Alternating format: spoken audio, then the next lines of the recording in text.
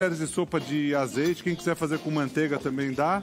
Mas eu coloco no fundo da de uma panela duas colheres de sopa de azeite ou até que ela cubra o fundinho de panela. Aí a gente vai usar uma xícara de cebola ou pode calcular uma cebola, uma cebola que a gente coloca direto aqui. Então, primeiro o azeite, espera um pouquinho ele aquecer.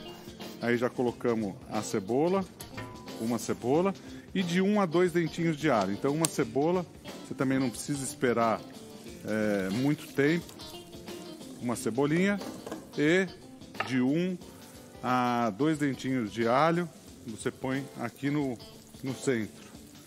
Ó, então o, a cebola, o alho. Aí a gente tem é, meio quilo de carne moída. E aqui vale a explicação, Rô e você de casa, uhum. que você é, tem uma carninha lá, qualquer uma que sobrou de ontem, uhum. a carne de panela ou um churrasco que você fez. Claro que já Se você mais, triturar, você faz um bolinho delicioso, né? Uhum. Se você tiver no sul e fez um churrasco e sobrou a picanha e você quer fazer, você tritura ela, faz um bolinho de picanha, não é? Então aqui, bolinho eu falo do sul porque, porque, o pessoal faz a mais, né? É, porque é, é, é, o tradicional. Mas vou te falar, esse truque já, já rolou o Brasil inteiro. É. Faz um croquete carreteiro. Faz mais churrasco do que o normal.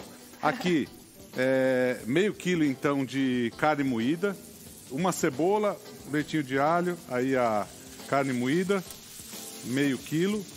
E uma coisa importante aqui, a gente vai tirar o vermelho da carne, mas a gente não precisa deixar ela muito tempo aqui, porque depois você concorda que a gente vai fritar? Uhum. Só para manter é, uma umidade nessa carne também. Aí a gente tem é, molho de tomate, uma xícara. A gente vai usar azeitona preta, mas é opcional. Quem quiser põe, quem não quiser não põe. Pode usar molho inglês, fica uma uhum, delícia uhum. nesse tempero. E molinho de pimenta também, ah, mas é opcional. Então, molho inglês. Quem quiser usar molho de soja aqui pode também, que né? Incrível. Você falou fica da azeitona. Bom. É.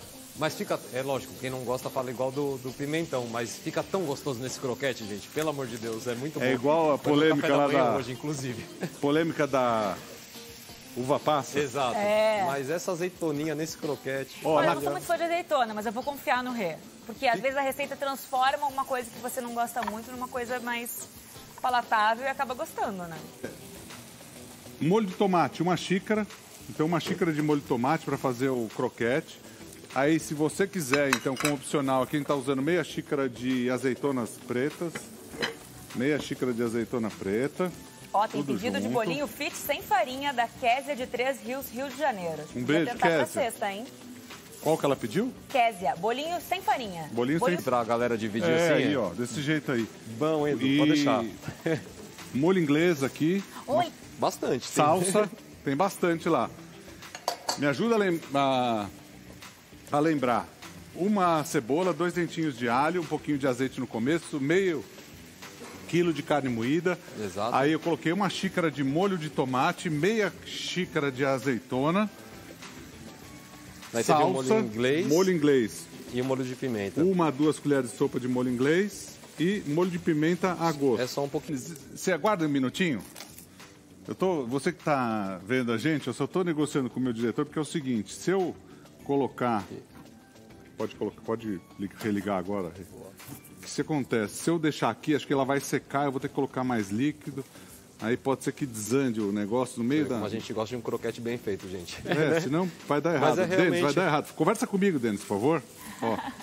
Não, eu estou negociando com você ao vivo aqui um tempinho a mais aqui, só para eu finalizar aqui, senão o negócio vai desandar.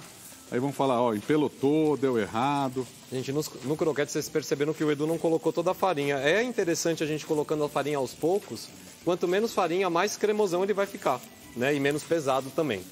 É, então, a gente colocou uma xícara. É, uma xícara. Ainda tem um pouquinho, tem mas eu, assim já tá bom, né? Eu acho que já. Abaixa um pouquinho o fogo agora. Nada como ir sentindo como a receita está respondendo. É, né? e aqui, ó. Exatamente. É o seguinte. Nós estamos usando a carne moída para fazer. Então, a carne moída, ela mantém o líquido dela aqui. E aqui, nesse ponto aqui, você vai misturando, você vai sentindo que vai dando você sabe a receita de croquete de carne mais prática que existe, né? Que você não eu precisa acho. partir de uma receita pronta com a carne moída já fica legal. É, eu acho sim, ó. Você vai desgrudando ela do fundo da panela agora. Nossa, que cheiro. É ó, muito bom. Demais, meu. Ufa, deu certo. Era isso que eu queria, ó. Não precisa mais farinha.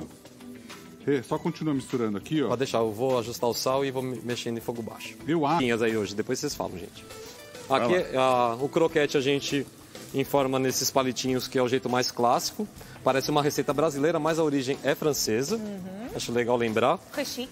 É até E chique. em vários lugares do mundo, cada um faz um jeito Faz, também, né? Faz O Rê tá empanando ali, então.